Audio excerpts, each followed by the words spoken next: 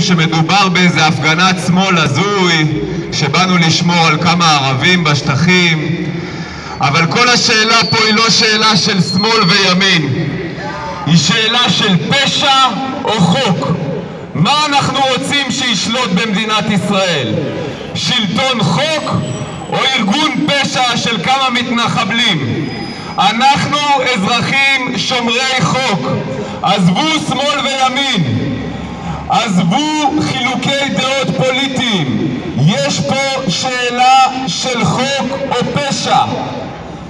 האם אנחנו נותנים למתנחבלים לעשות מערב פרוע ביהודה ושומרון? לעשות היאחזויות נגד החוק הישראלי, נגד פסיקת בית המשפט, להשתין על צה"ל בקשת, לעשות מכם החיילים קרקס, לעשות מהשב"כ והמשטרה בדיחה. האם אנחנו נותנים פה מדינה של חוק ששומרת על האזרחים שלה? האם אנחנו נותנים לצה"ל להיות הריבון בשטחים? או שאנחנו נותנים לכמה ילדים שבוחרים להם גבעה ובונים עליה איזה מאחז עם עז ושלושה ילדים ובוחרים שזה יהיה החוק וזה יהיה השלטון בישראל? האם אנחנו מגנים פה על ערכים, על ציונות? ואל תבלבלו לנו את המוח עם זה שהם פטריוטים. נוער הזוועות, נוער הגבעות, כמו שאתם מנסים לצייר אותם כפטריוטים או חלוצים, עולים לנו מיליוני שקלים ביום, עולים לנו אלפי שעות עבודה של חיילים ושוטרים שהיו יכולים לשמור על אזרחי ישראל והם מתעסקים בהפרדה בין נוער גבעות שזורק אבנים על חקלאים שמטריד אזרחים, שמטריד שוטרים, שזורק אבנים על אמבולנסים של ישראל, של מגן דוד אדום, שזורק אמבולנסים על יהודים, גם חובשי כיפות, שזורק אבנים על שוטרים, שוטרי מג"ב ושוטרות מג"ב, שזורק אבנים ומכה בעלות חיילים שלנו, שום דבר ציוני אין בהם, שום דבר שמגן על ביטחון ישראל, הם לא מגנים עלינו ולא נעליים הם בעיקר מגנים על הנדל"ן שהם משיגים לעצמם בזול בשטחים.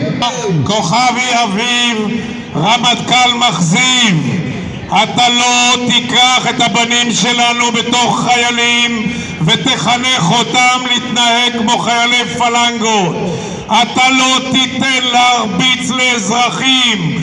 אתה תשב כל בוקר בישיבת בוקר ותעניש כל חייל שיתנהג שלא לפי רוח צה"ל שעליה גדלת.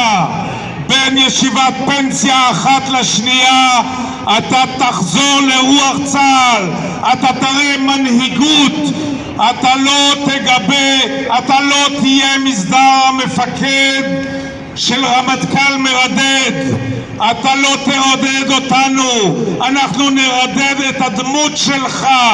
ותסביר לאנשים מדוע חיילי צה"ל עומדים מנגד ומרשים, מרשים לנוער הזוועות להתנכל לפלסטינאים בשטחים. תסביר את זה בספר שאתה כותב, איך אתה מרשה כמפקד שלהם שיעמדו מנגד? איך אתה לא מונע את זה? לפי החוק אתה השליט בשטחים, עליך למנוע מקרים כאלה. איך מניעת מים איך הכאתה של חברתנו נטע בן פורת משרת את האינטרסים של מדינת ישראל. אביב כוכבי, אתה תשב כל בוקר בישיבת בוקר ותבדוק את ההתנהגות של הבנים שלנו, החיילים שנתנו לך. אתה לא תשתמש בהם כמו נוער הפלנגות. אתה תלמד אותם מנהיגות מהי. אתה תעניש כל בוקר את החייל שסטה מתפקידו.